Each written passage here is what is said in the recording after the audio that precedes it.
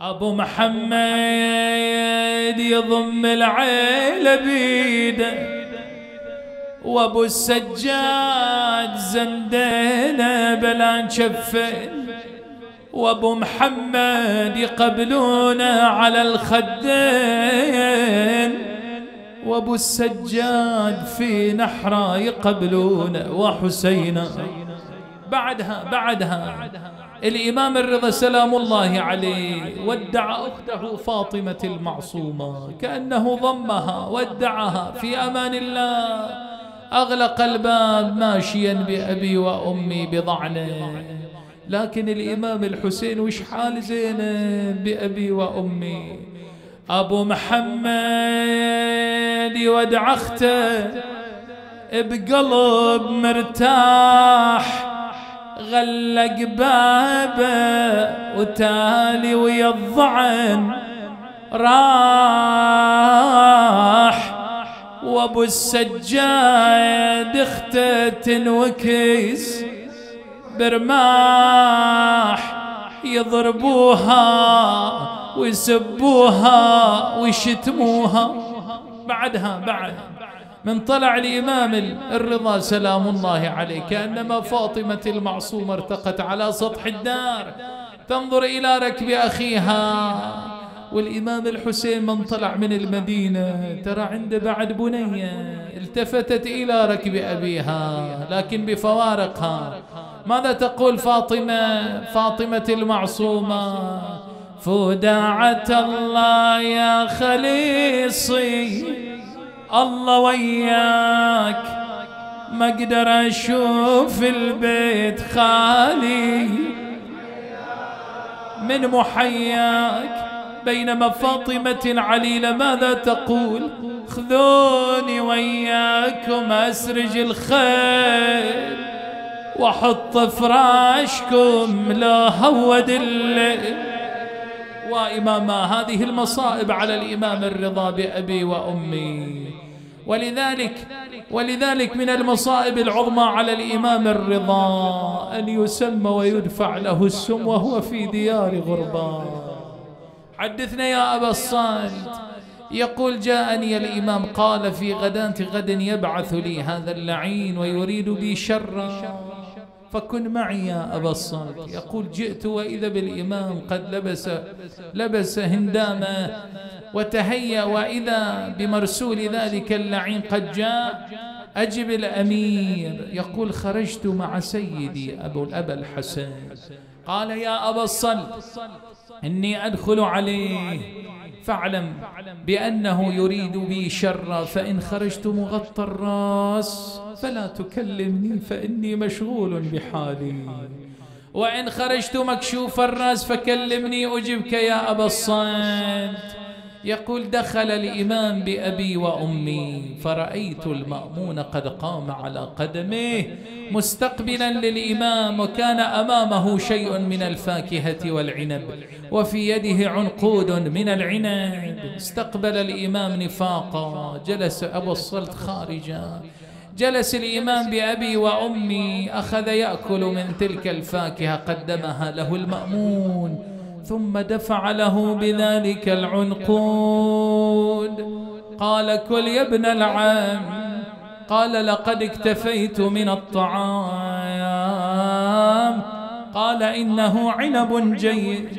قال لقد اكتفيت يا أمير من الطعام. قال أتتهمنا يا ابن العم أمر لا بد منه. دفع له ذلك العنب تناول إمامكم ثلاث عنبات يا مؤمن يا مؤمنة. ما إن تناولهم الإمام حتى أحس وكأن المواسي والسكاكين تقطع من فيه إلى سرتين المنادي وإماما. قام الإمام على قدميه من شدة وحرارة السوم يقال بين سم الإمام ومصرعه ساعات يعني مو أيام ساعات بسيطة وتوفي إمامكم. قام على قدميه قال المأمون إلى أين؟ قال إلى الوجهة التي وجهتني إليها. غطى رأسه خرج على أبي الصالت نظر إلى الإمام فلم يكلم. جاء عند الدار أراد أن يعالج أبا الصلت الباب. يريد أن يفتح يعني لحظات بسيطة بالعادة الإنسان يقف ينتظر فتح الباب يقول أبو الصلت التفت إلى الإمام وهو جاء وإذا به جالس على الأرض لا يستطيع القيام فتحت الباب دخل الإمام ألقى بنفسه على فراشه من شدة حرارة السوم أخذ يقبض رجلا ويبسط أخرى. وأنا أنظر إلى ألوانه قد تغيرت تحيرت. هذا إمام هذا مولاي وهو في ديار غربة ما عنده أحد. يقول خرجت إلى دهليز الدار وقد أغلقت الباب وإذا بي أرى غلاما في وسط الدار. يا عجب الله. من أنت وكيف دخلت هذه الدار والأبواب مغلقة؟ قال يا أبا الصالت الذي أدخلني هو الذي جاء بي من المدينة. أنا مولاك الجواد يا أبا الصالت. دخل على أبيه ما إن رآه فتح ذاعه إلى ولده. ضمه إلى صدره. أخذ يبكي الأب والولد. ها يا مؤمن يا مؤمنة. ثم أوصاه بوصايا. ثم عظم الله أجوركم. عرق جبينه. وسكن أنينه. مد رجليه. أسبل يديه. قرأ شيئا من القرآن حتى ختمه. أطبق فاه وغمض عينيه وانقطع نفسه وتدلت رقبته وفاضت روحه الطاهرة. أين المنادي وإماما والسيدات أصبح الطوس بزلازل والخلق كلها بعوي. أصبح الطوس بزلازل والخلق كلها بعوي. لجل أبو محمد تزلزل يا خلق عرش الجلي. الأعلام السود منشورة ومدامعهم تسي. تزت السبع العلية وبالأرض صار انقلا.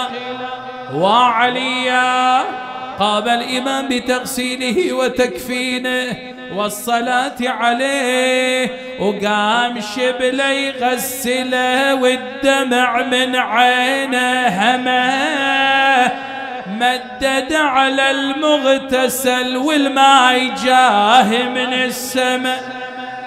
وبالطفوف حسين جدد غسل بفيض الدماء وشافت عياله بيسرها من عقب عين العذاب وإماما عاد الإمام الجواد إلى المدينة دخل بأبي وأمي حاسر الرأس على أعمامه ودموعه على خده. قالوا ما عندك. قال أوليس قد مات أبي الساعة. فأخذوا ينادون وعلياه وإماما وكأنه توجه ناحية قبر أمه. وسمع لها نحيب على ولدها ونوح. ولكن أي النوع أعظم عليك يا فاطمة؟ هالناحية الزهراء على منه. نوحين ناحج على المسموم لا ناحج على صوتك هاي يستاهل الإمام الرضا. هالناحية الزهراء على منه تنوحين ناحج على المسموم لا ناحج على صدت نادت والدمع بالخد شاري. ان تسألوني يا خلق كلهم أولى لكن صواب حسين ساطي في فادي. وعظم علي لين عناعي على حسين. واحسن أبكي على أولادي قضاوا بالسيف والسم وأبكي على أبوهم ذبيح لابن ملجم وإن كان بالله تسأله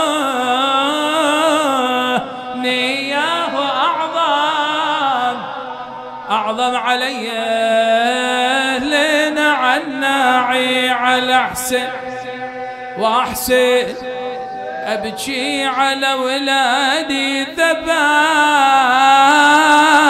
يحيى معاشور وأنا نصبت لهم عزايا في وسط القبور.